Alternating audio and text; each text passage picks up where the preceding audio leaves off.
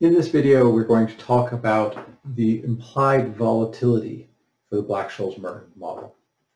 So again, recall these pricing formulas, we don't need to know them, but we've got the value of a European call or the value of a European put.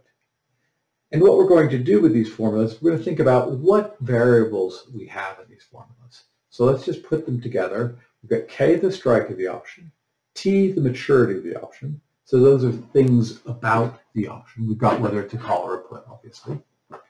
We've got S, the asset price, R, the risk-free interest rate, and sigma, the volatility of the asset.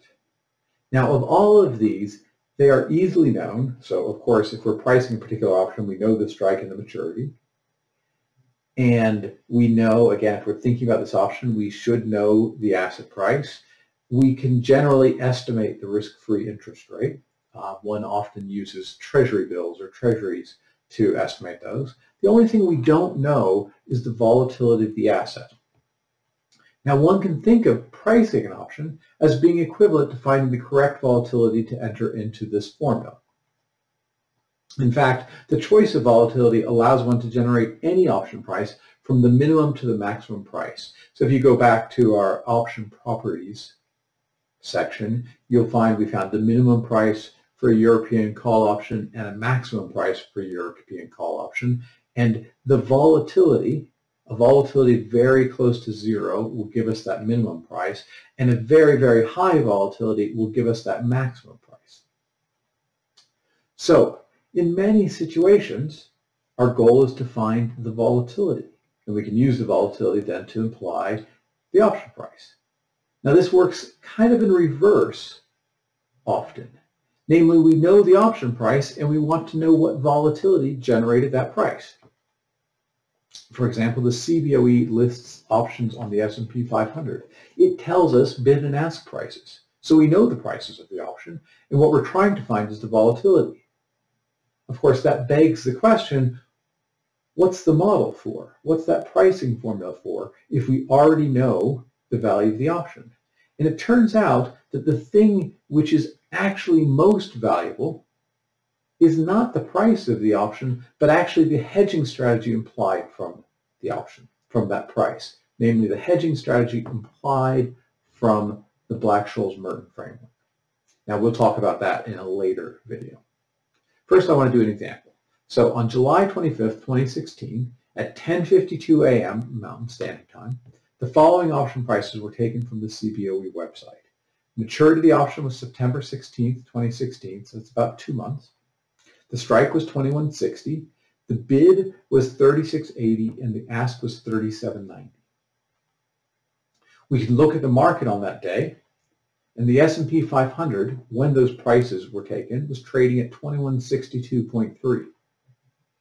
We need an interest rate. We're going to use treasuries. And so one-month treasury yields were 0.24%, and three-month treasury yields were 0.26%, and the option matured in about two months, so we're going to use 0.25% as the continuously compounded risk-free interest rate if this were a longer dated option, we would need to concern ourselves a little bit with what kind of rates are those 0.24 and those 0.26 rates. But for as this option matures in two months, continuously compounded or some other compounding frequency doesn't really matter.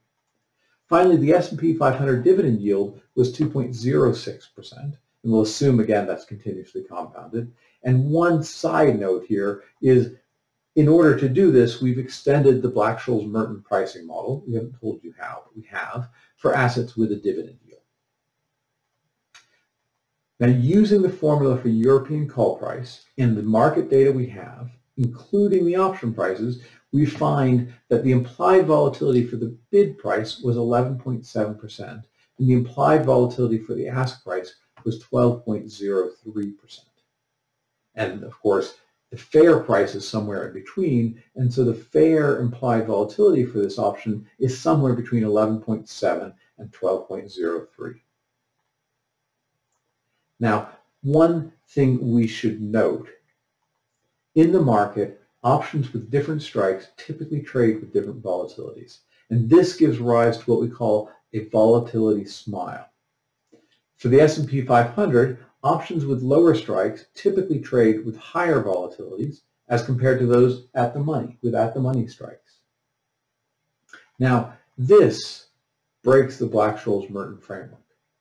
So we know immediately from the market that the Black-Scholes-Merton framework cannot be absolutely true. The market still finds it to be a useful tool, and the reason they find it to be a useful tool is that it's approximately true, and so those deltas, those deltas with which we hedge, and we'll see that later, but those deltas with which we hedge are reasonable proxies for the deltas that one should hedge with in the market.